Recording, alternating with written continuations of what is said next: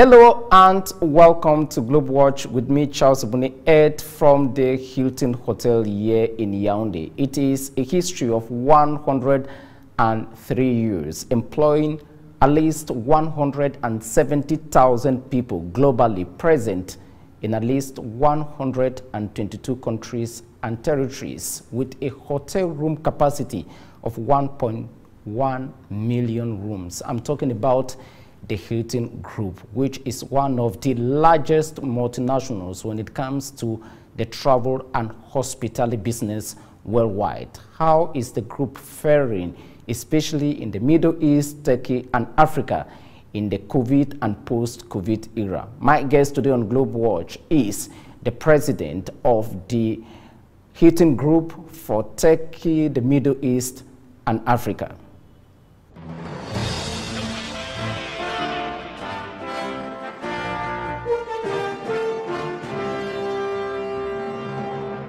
Jochem Jan Sleiffer, welcome to Globe Watch.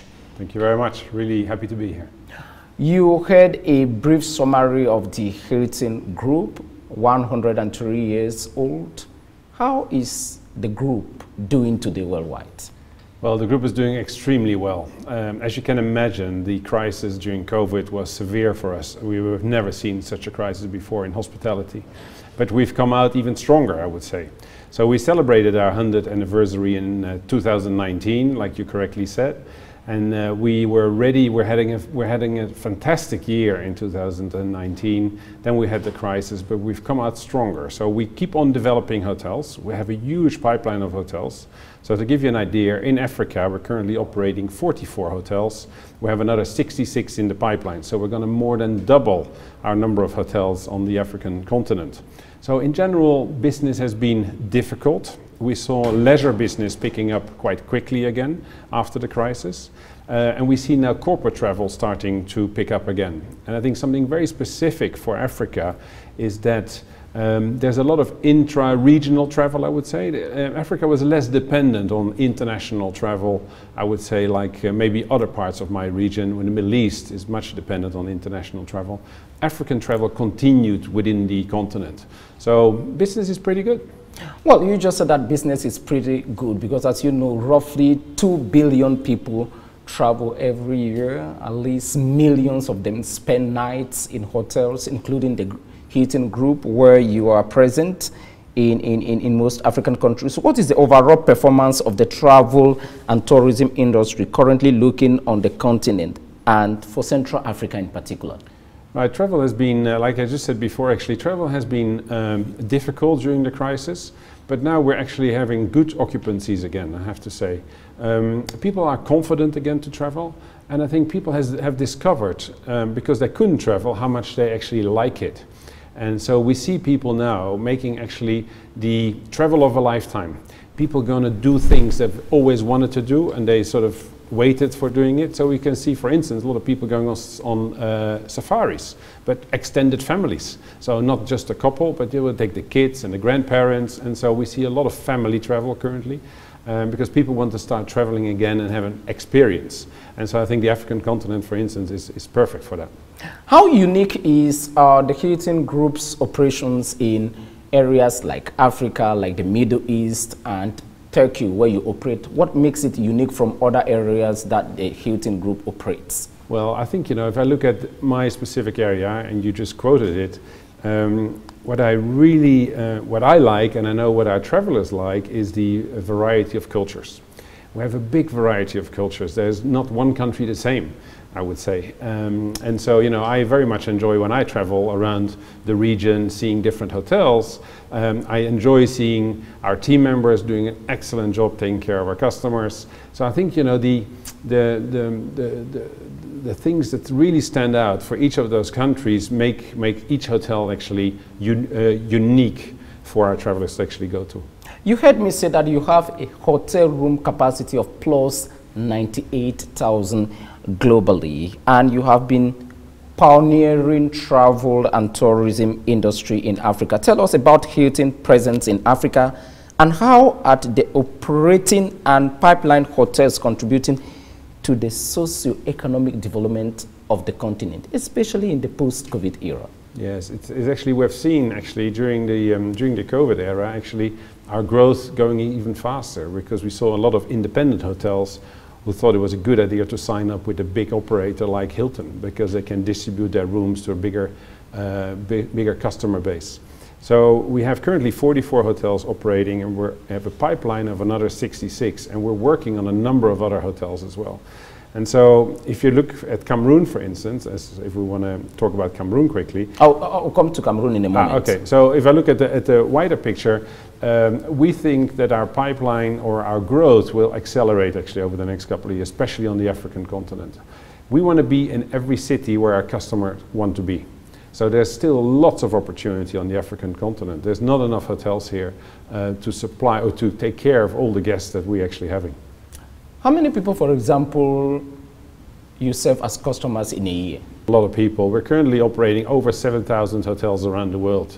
So you can just imagine all those rooms, uh, I guess it's about a million rooms or over a million rooms in total um, that people can actually stay in. So, you know, it's going to be a big, big number.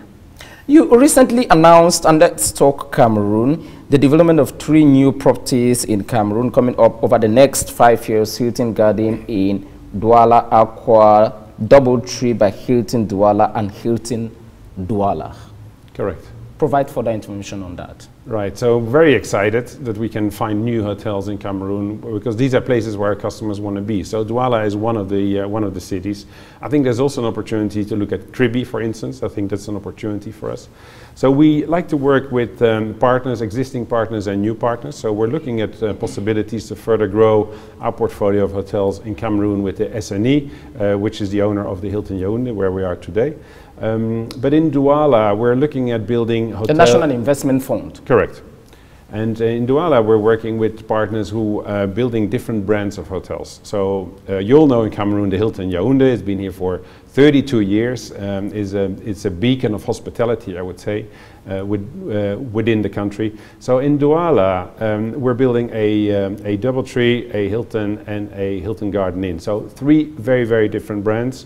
Um, I would say providing mainly for the business traveler. Uh, we see there's a lot of demand for business travel in Douala. I think it's sort of the economic capital of the of the country. Well, we're here in Yaoundé. We're more in the government uh, government city. Uh, like you said, Hilton Yaoundé has been existing for 32 years, receiving some of the world's best known politicians, football stars, uh, those of the music world, even Yasser Arafat, the first president, if I get it correctly, of the Palestinian Authority, have spent nights here, Kofi Annan, uh, the Eto's, uh, Francis Ngannou, I can give the, how proud are you of the services that Hilton Yaoundé to communities over the years? Well, I'm extremely proud of the team here, actually. So, to give you a little story, this hotel opened in the same year as I started working for Hilton. So I started working for Hilton back in 1990, same year as this hotel opened. So I've always heard stories about this property. And everybody who was here as a, as a team member or as a general manager has always spoken very highly of this hotel. And I've now been here for three days. Um, and I have experienced the incredible service our team members deliver here on a daily basis. I mean, the smiles of the people and the attention to detail is second to none. So I think, you know, they really make us very, very proud.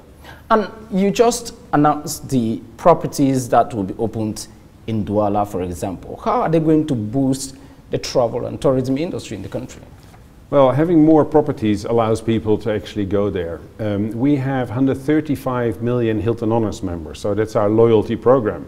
And so these travelers are always looking for new places to actually go. So once we have a hotel in Douala, we will, we will bring people there. Not only will we bring customers there, we will also provide for people to work there. Right, so we are um, having new team members. We'll hire new team members, hopefully people that we have trained here, mm. to go and work there as well. Uh, maybe before the interview comes to an end, some few questions. Um, what has been the corporate social responsibility of Hilton, for example, to the Cameroonian community? What do you do to the people apart from providing hotels where the executives, people like you, um, to a lesser extent, people like myself, can come here and stay.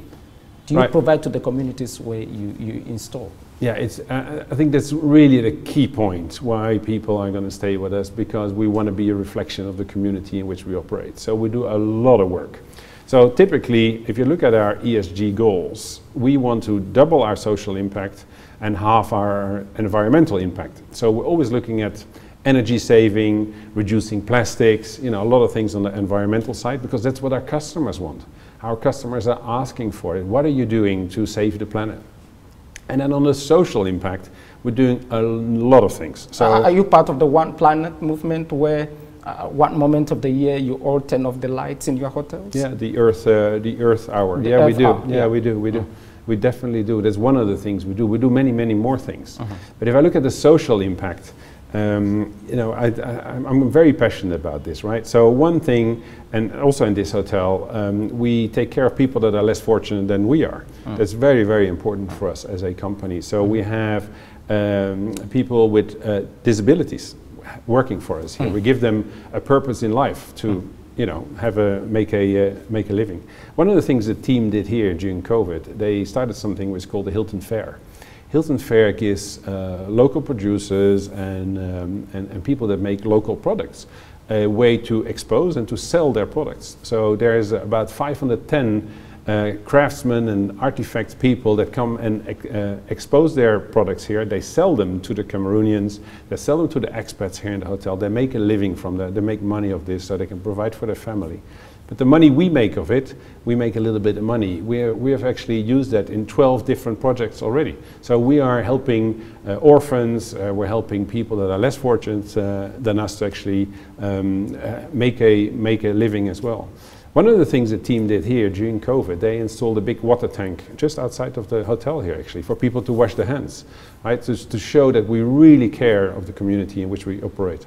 Avant la conclusion de cette interview, euh, le monde euh, euh, de voyage ou bien le monde hôtelier fait face à certains défis aujourd'hui. Euh, quels sont ces défis que fait face euh, Hilton Group et comment euh, prévoir les relever Oui, ben, un des défis, je pense, le plus, plus grand pour nous aujourd'hui, c'est de trouver du personnel, du personnel qualifié. Donc, si on regarde le dernier rapport du WTTC, the World Travel and Tourism Council, il prévoit la création de 14 millions d'emplois dans la hôtellerie et tourisme en général sur le continent euh, africain. Et donc, nous, on a un rôle énorme à jouer là-dedans, à développer des jeunes pour ce métier qui est fabuleux. Donc, depuis, pour vous donner une idée, on a engagé depuis juillet 2020 67 apprentis dans cet hôtel. Et on essaie de les développer pour qu'ils trouvent un job ailleurs avec nous ou dans un autre hôtel. C'est très important pour nous de continuer à développer euh, les jeunes, mais aussi les femmes. Donc on, fait beaucoup de travail en développant les femmes dans l'entreprise, parce que nous, on a besoin, donc avec tous ces hôtels qu'on va développer, donc ima imaginez-vous, dans les 66 hôtels qu'on va développer ici en Afrique, j'ai besoin de 66 directeurs généraux, 66 euh, euh, gouvernantes, 66 réceptions, donc j'ai besoin de beaucoup de gens. Et donc là, je pense que nous, on a un rôle à jouer, tous les autres hôtels aussi d'ailleurs, euh, mais on a un rôle important à jouer, à développer des gens pour travailler dans ce métier qui est pour moi un métier fabuleux. Um, je sais qu'il y a d'autres sociétés, d'autres groupes hôteliers dans le monde entier euh, qui ont peut-être le programme de développement des talents. Est-ce que euh, Hilton Group en a un groupe pour le développement des talents en Afrique et au, au Cameroun en particulier? Euh, Vous savez, nous, le développement, euh, nous on essaye moi, je suis convaincu que je veux que tout le monde arrive à faire un, une carrière chez nous, euh, développer leur talent, mais pas à 100%. J'aimerais bien développer tout le monde à 105% ou 110%. Parce qu'il faut faire rêver les gens. Donc, moi, je suis convaincu que tout le monde peut faire plus ce qu'il pense. Et donc, euh, maintenant qu'on parle des femmes, par, par exemple, euh, on développe, on a chaque année, on a une conférence pour toutes les femmes des talents, on disait. Euh, donc, on vient de faire un, une de ces conférences au mois de juin. On l'a fait dans, dans, trois destinations différentes. Donc, on a fait une séance au Maroc, une en Nigeria et une en Afrique du Sud. Et donc, on a eu des talents de cet hôtel ici, à Yaoundé, qui ont voyagé à Abuja. Et donc, ils ont suivi la conférence euh, là-bas. Donc, spécialement pour les femmes, c'est une conférence qu'on fait pour les booster, pour leur donner du courage, pour leur donner des outils pour se développer. Donc pour nous, vraiment, je pense que les femmes en Afrique, on a, on a, une, on a, on a une belle réussite, tout ce qu'on a déjà fait. Et pour les jeunes? Mais on ne regarde pas toujours les jeunes. On regarde tous les âges. Pour moi, c'est très important. On, parle souvent des jeunes.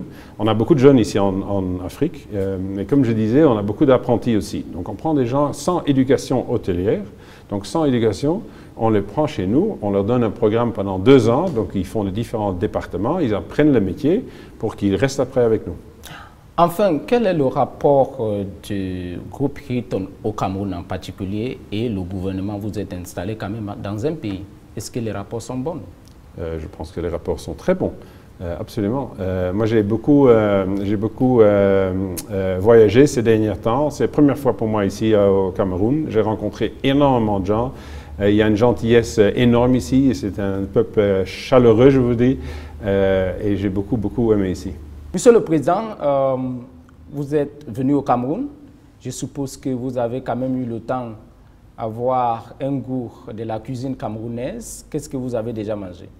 Oui, j'ai déjà mangé beaucoup. Ça, c'est la première chose. Euh, mais ce que j'ai particulièrement aimé, c'est le vin de palme. J'ai jamais eu ça de ma vie et c'était une découverte pour moi. Vous savez comment on appelle ça au Cameroun? Non. Dans un langage commun pour tout le monde, le matango. Okay. Merci beaucoup. the Chief Executive Officer of the Southern Fund for Development, Sultan Al Mushad, welcome to Globe Watch. Thank you very much. We saw you a few moments ago signing an agreement with the Cameroonian Minister of the Economy, Planning and Regional Development, Alamin Usman Mey. What was the detail of this agreement? First of all, I would like to express my gratitude that uh, I am being here today in Yaoundé, the capital city of Cameroon, to sign uh, an agreement to finance the construction and uh, the equipment of the Malbai, Malbai, Mal, Mbalmayo uh, Regional Hospital, Regional Hospital, Hospital. project, which uh, the SFD will uh, participate with the 12 million so US dollar. Uh, this is very important uh, uh, project. the, pro the, the, the 12 million dollar will be as a development soft loan. the fund will help construct and equip the hospital with uh, up to 200 bed, uh, Uh, which is a very good number as uh, hospitals. These hospitals uh, will be uh, of world-class uh, facilities and uh, include uh, a specialized medical department and other operational services. The hospital will be also fully furnished and indicate rehabilitation road connecting the hospital with the, the main national road. Uh, by funding uh, this uh, project, the government of Cameroon can uh, reduce the harsh, uh, the hardships and access, accessing the health services by providing excellent health services to the Cameroonian people. Uh, since 1977, the Saudi Fund for Development has been in Cameroon assisting in projects development. Um, uh, a package of nearly 30 billion CFA francs. That should be roughly 60 million dollars. What other projects are you involved in financing in Cameroon? Uh, actually, uh, the Saudi Fund for Development start uh, the development relationship with the Cameroon, as you mentioned, 1977, uh, by providing um, uh, nine soft loans uh, for uh, different infrastructure projects, uh, health, health roads, and other education with the amount of 110 million US dollar, not 60. Uh, one of the most important projects that has been financed by the Saudi Fund for Development in Cameroon, that was uh, the uh, Song uh, Loli uh, hydroelectric power plant project. The Song Loulou uh, power yes. power plant. Yes, which is clean energy, and uh, it's uh, it's very important for aluminium industries in Cameroon and neighboring countries by building a dam on the Sana Sanaga River. River. Yes, uh, and uh, uh, with a power of 180 uh, megawatt power. Okay. Now, I, I presume that Cameroon is not the only country in Africa where Sure. you are providing assistance in terms of loans, in terms of technical assistance, in terms of funding of projects that have a direct impact on the daily lives of the people. What are the key projects you have financed in Africa since your creation in, in the 1970s? Yes, uh, thank you for your question. Actually, uh, the Saudi Fund for Development is very active in the uh, African continent a long time ago, more than four decades. Uh, during that time, we have uh, uh, support several uh, projects in Africa, building dams, roads, uh, hospitals, uh, uh, uh, airports, uh, schools. So we have a variety of infrastructure projects that we have uh, built uh, to giving uh, people access to the uh, necessary services, facilities, and uh, networks. Uh, to, to, uh, to date, the Saudi Fund for Development has uh, uh, financed uh, 580 uh, projects with uh, in 46 countries, African countries, with an amount uh, around 13.3 billion US dollar. So the Saudi Fund for Development is very, very active in African countries. Um, before the interview ends about the future of the Saudi Development Fund, just tell our audience briefly what is the Saudi Development Fund in general? How did it start? Where does it operate? Uh, the Saudi Fund for Development, uh, established in 1974, uh, to uh, provide uh, soft loan for infrastructure projects in development countries, Africa, worldwide. Our future plan, we are, we will continue our efforts to achieve objectives adopted by the Saudi government uh, to support international development and strengthen the kingdom's role as an active mem- a member of the international community. Our uh, top priority to make a strong, positive, and uh, low, last uh, long uh, impact on uh, low-income communities. Uh, we balance the economic uh, environment and the social needs to, uh, of the uh, communities. We operate on, uh, to establish prosperity and growth for, further, for future uh, generations. The Chief Executive Officer of the Saudi Fund for Development, thank you very much indeed for being guest on our program.